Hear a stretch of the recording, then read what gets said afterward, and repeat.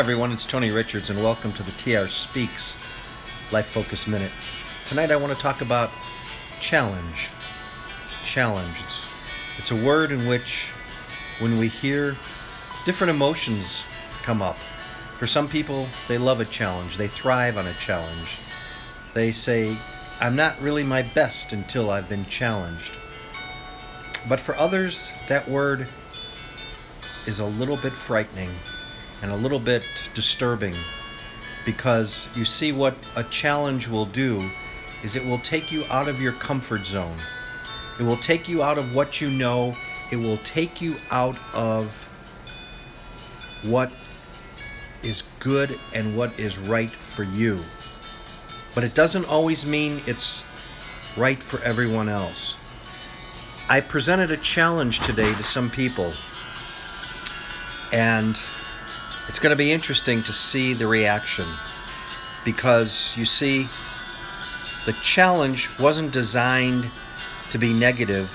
The challenge was, was designed and is designed to be growth driven, to go deeper from where you are right now, and to understand that in order for me to grow even more as a person and as a professional, I have to understand the challenge, I have to accept the challenge, and then I have to take the challenge.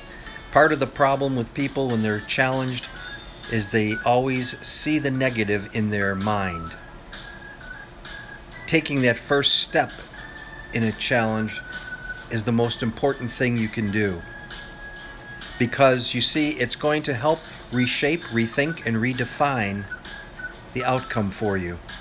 And you might look at a challenge and take a step and say, you know what? This isn't as bad as I thought it would be. Or you can look at it and say, this is really pretty tough. Now, what do I need to do? Challenges will also redefine your mental toughness. How tough are you? Are you up for the challenge? Are you up for whatever it is that's in front of you right now? Perhaps you're in a challenge in your life right now. Maybe it's on your job, maybe it's at home, maybe it's at school, maybe it's with your spouse, your children, a friend, a coworker.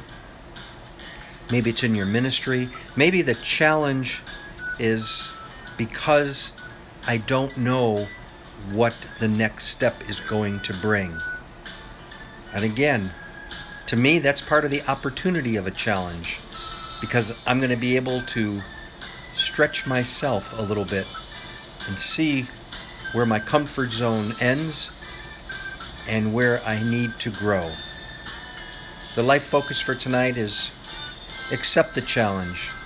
Don't look at the glass as half full. Look at the glass and the challenge as half empty. And how can I then change it to be half full? Understand the challenge is going to be frightening. And at first, that glass is going to seem half empty. But then when I go through the challenge and things start, I start seeing how things really are. That glass becomes half full. And I'm able, able to grow. And I'm able to say, okay, now I can do better. Now I can understand it. Now I understand myself a little bit better. And now I go forward. Write me at Tony Richards speaking at gmail.com. This program, along with others, this program will be available on YouTube in about 20 minutes. If you go to youtube.com, simply type in TR Speaks, and this program, along with others, will be available to you. Challenges are not easy.